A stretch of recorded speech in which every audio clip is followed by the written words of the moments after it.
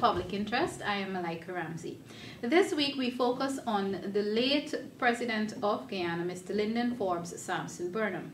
As you would have known, the Oliver Tambo Award to the late President of Guyana has been recently making the news. And of course, the People's National Congress Reform and the Partnership for National Unity would have made some statements regarding that. With me is the leader of the People's National Congress Reform and leader of the opposition, Mr. David Granger. Welcome, sir. Thank you very much, Malika. All right, sir. I know you've recently made some statements regarding Mr. Burnham's work and his contribution to the liberation of South Africa, and you've been, to some extent, criticized uh, for those statements. If you can, you know, before we get deep into the discussion, shed some light on why is it that you strongly believe that uh, Mr. Burnham, even though he has already gone, uh, should be contributed, should be recognized and awarded for his work regarding the liberation of South Africa? like, uh, it's a, an old story. I mean, truly enough, it has recently made the news. But the award, the companions of O.R. Tambo, um, Oliver Reginald Tambo, that was his full name, um, is a high award. It is given by the Republic of South Africa um, to foreign dignitaries. There are three grades, the gold, silver, and bronze. And the gold is reserved for former heads of state. Um, we felt it was going to be um, an, you know, uh, an uncontroversial matter because nobody has ever doubted the contribution that Forbes Burnham made to the restoration or the, the establishment of democracy in South, South Africa and to the liberation of Southern Africa. I mean, I can quote instances from over um, 50 years ago, 60 years ago, that demonstrated he was a, committed fighter for democracy and for um, human rights in South Africa itself and for the liberation of Southern Africa. So I was quite surprised that um, the controversy should have um, come to the newspapers and to the media um, mainly because uh, some persons objected to the award. And in those objections, they said nothing about his um, fitness for the award. They didn't criticize what Forbes Burnham actually did. They simply seemed to be relying on, on extraneous matters, even though they may feel those matters are important. No one has attempted to diminish or to discredit the contribution that Forbes Burnham made to democracy in South Africa and to the liberation in Southern Africa. Before we talk, uh, get deep into the actual contribution of Mr. Forbes Burnham regarding South Africa, do you believe that the persons who are somewhat criticizing or doubting um, his contribution are saying that he should not be awarded, do you believe that they're just being malicious and somehow trying to bring it to modern day politics? It's difficult to find out what the motives are. I mean, it is, it is certainly malice and it is certainly irrational because um, one would expect that if an academic were to make such a criticism, uh, he or she would take a balanced view uh, to show, well, did this person uh, make any contribution at all? Um, is the government of the Republic of South Africa completely mad that they made an award to somebody who uh, has absolutely no right to the award? Um, if so, you know, well, what were the, the factors in favor of such award and what were the factors um, mitigating against the award? So, uh, militating against the award. So, um, one would expect some balance, but there was no trace of balance in the petition which was sent to the government of South Africa. And in our case in Guyana, this was not a national petition, it was a petition sent by a group, but it was a factual petition. And perhaps we can examine, you know, what work Mr. Forbes Burnham actually did, um, what contribution he actually made to the liberation of Southern Africa and to democracy in South Africa. But I feel that the criticism was, was um, unbalanced and it was malicious, yes. On to Mr. Burnham's works regarding um, South Africa. Uh, recently, I was privileged enough to listen to a speech whereby Mr. Burnham had said uh, the speech was um, broadcast in 1971, where he, the government of Guyana, had committed to $50,000 a year for uh, South Africa. Your thoughts on that contribution, and, and did we, we as in Guyana, get anywhere in helping South Africa? Well, I wouldn't start in 1971. I'd probably start in 1946, okay. if you don't mind. Sure. Um, I'm not trying to be historical, but I'm just trying to show you how Forbes Burnham thought. Mm-hmm. Um, when he went up to London as a student um, after the Second World War, he met several other colonial students because we didn't have a university at the time, and Forbes Burnham won the Guyana Scholarship, as it was called then. And he met students from all around the world, young men who um, were from the colonies of Great Britain. At that time, Britain was a very large empire. And some of those friends were people like Seretse Khama from um, what is now Botswana. I think it used to be called Basutoland. He met Kwame Nkrumah. He met um, uh, people from Nigeria like uh, Abubakar Tafawa Balewa, who became the prime minister. And he met people like Errol Barrow, who became prime minister of Barbados. So these were young people in the 1940s, still in their 20s, some of them had actually served in the British Army or British uh, the Royal Air Force. But from that time, Forbes Burnham became involved in the League of Colored People, which it wasn't for Africans alone, it was also for Asian and other people who were colored in, um, in living in Britain at the time, people from Sri Lanka and India and Pakistan. And um, he also became involved in the Caribbean Labor Congress. And um, he came back to Guyana in 1949, uh, really committed to liberation of um, these colonies from imperial rule. So I can trace Forbes Burnham's activism um, really to um, nearly, you know, uh, nearly 68 years ago when he was a student in London. Um, there were several incidents uh, over the ensuing years, one of which was a riot in Nyasaland.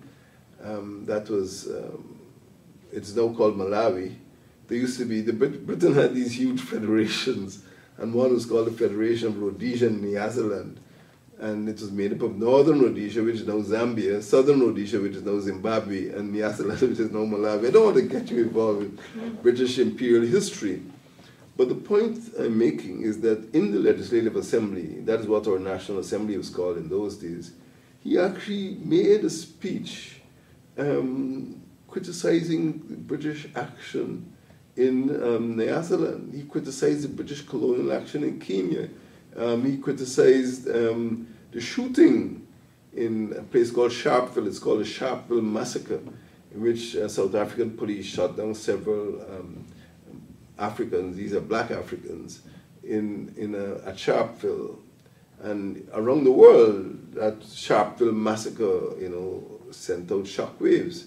So if you look at um, Forbes Burnham's activism, you can trace it back to the 1940s, the 1950s, the 1960s. So now I come to your point, 1971. Um, after Guyana became independent, um, Forbes Burnham met many of his old friends and he was approached by other leaders, particularly after 1970. And he went to his first meeting of the non-aligned movement in Lusaka, Zambia in 1970.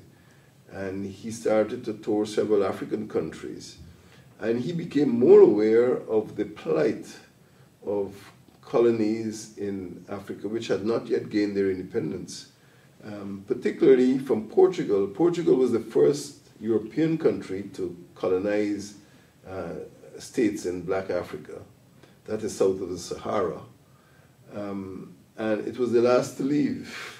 And the rule was very vicious. Um, the Europeans went to, Brit to Africa to extract minerals, particularly gold, and to extract uh, human beings to work as slaves in the plantation. Don't forget Portugal at one stage owned Brazil, and many of the Africans from Angola and so were taken um, to, to work in the sugar plantations in Brazil. That is why you know, you know, over one third of the Brazilian population is African.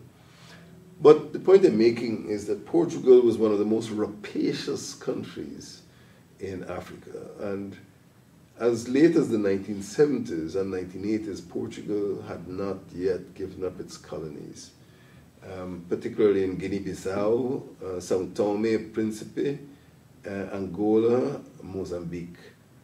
And um, our, uh, our Forbes Burnham, our government committed itself to assisting the liberation of those countries from colonial rule. And the Portuguese army was involved, it did oppress and it did suppress the liberation movements. In Mozambique, you had one called Frelimo, that is the Front for the Liberation of Mozambique. In Angola, you had several. Um, we supported the um, MPLA, which in Portuguese means the um, Movement for the Liberation of Angola, Movimento Popular de Liberação de Angola. And um, there was also the FAPLA, which is the Popular Forces uh, for the Liberation of Angola.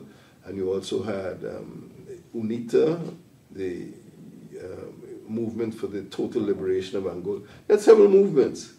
But we were a poor country, and Forbes Burnham, out of our poverty, donated 50,000 United States dollars to help the liberation movements and actually set up a high commission in Zambia, in Lusaka, Zambia, um, to provide assistance. And our diplomats in the United Nations and uh, non-aligned movement actually actively supported um, the liberation of the southern part of the continent. So it was a tremendous effort. I remember in Zambia, for one, when the British pulled out, Guyana actually sent typists.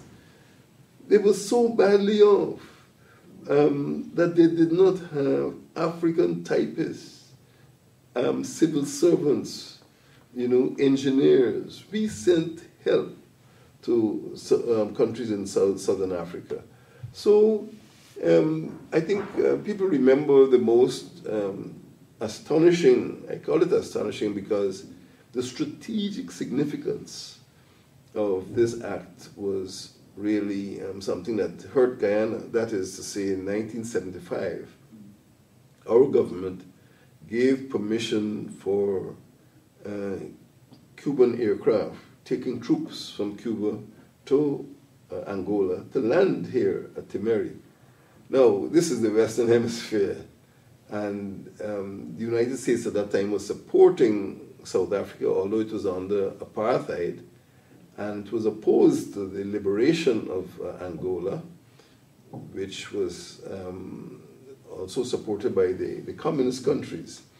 So that act allowing uh, military aircraft to land at Timehri to refuel, because those days the airplanes didn't have the reach to travel from, from Cuba to Angola and they needed to refuel, and they landed in, in Guyana. But was Mr. Burnham heavily criticized for that? I mean, that, that would also bring me to the, the question of how many groups or parts of society actually supported that kind of um, situation, that move. Well, you would always find elements in society with different points of view. It was dangerous because um, my information is that Guyana was actually warned by the United States to discontinue its support. And in fact, a year after that support started, that is in October 1976, a Cubana airline was bombed out of the sky off of Barbados and 11 Guyanese were killed. Uh, I regard, in my strategic analysis, I regard the bombing of the Cubana in 1976 as payback, as payback for allowing Cuban troops to land here to go to South Africa. So that was the first and the worst act of terrorism in the Caribbean, and I'm still convinced that if um, the United States had taken heed and had tried to persecute or prosecute the, the persons who committed that act of terror, um, maybe what we now know as 9-11 would not have occurred. but it was ignored, you know, people felt that we got our due because we were um, helping the, um, the communists, and um, we deserve what we got. So you're quite right that um, Guyana was um, punished because of its support for African liberation struggle. And later on, we started to find that um, we ran into a lot of problems with the international financial institutions. because Guyana became a sort of um, pariah state in the Western Hemisphere. So we paid in money by, you know, the actual donor. We paid in blood because our, our, um, our uh, people were bombed out of the air in the Cubana. And we also paid by being diplomatically isolated in what was called destabilization.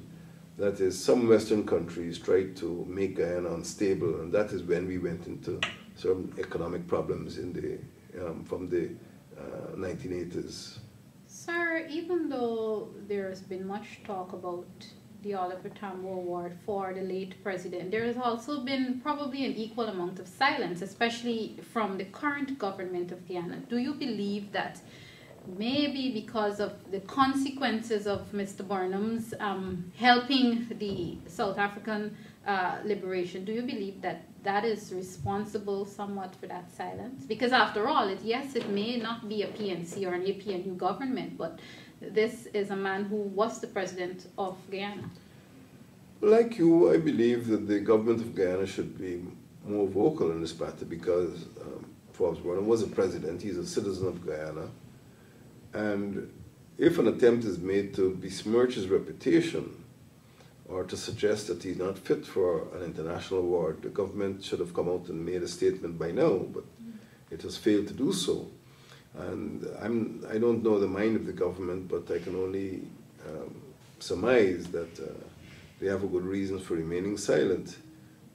But Burnham is a distinguished citizen and he deserves the award. Now, sir, if not for the Oliver Tambo Award to the late President Burnham, persons now would not, would probably would not have known that Burnham made such a great contribution to South Africa. What is the People's National Congress reform doing or plan to do to ensure that the public knows, especially our young people, knows about the works that Burnham did, not only in South Africa, but generally? Well, to start with, I've written President Zuma of South Africa.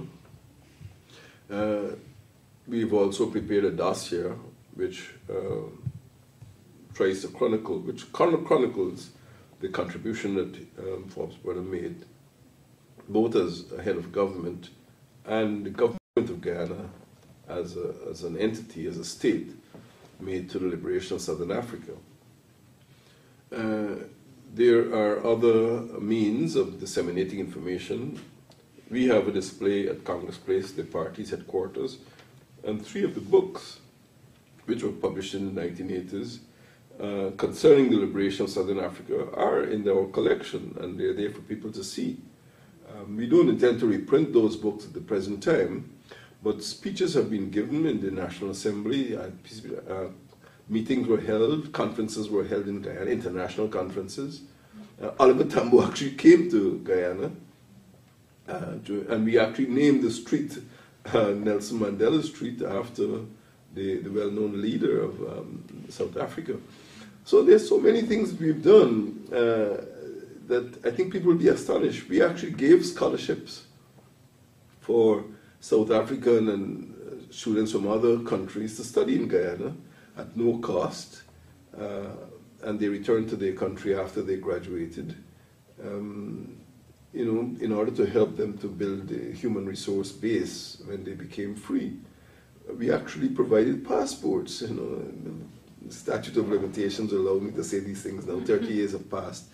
But um, many of the liberation fighters were unable to travel around the world because they weren't given uh, passports by their own countries. And we gave them Guyana passports to allow them to move around the world. Um, so there is so much that we have done that people need to know. And I hope when this dossier comes out, people can take a more objective view of what uh, contribution we made. It is a pity that um, there will always be political differences and there will always be racial differences.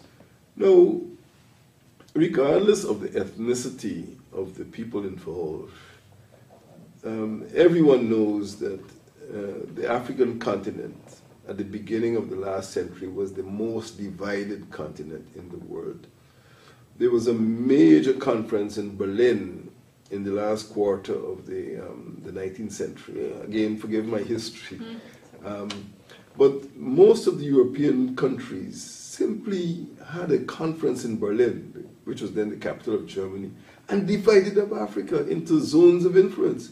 So you had Germans, they were places like Tanganyika and um, Togo were, and, and, Namibia were actually German colonies. You had French colonies, um, Senegal, uh, um, Ivory Coast, Mali, um, uh, Burkina, what is now Burkina Faso. Then you had British colonies.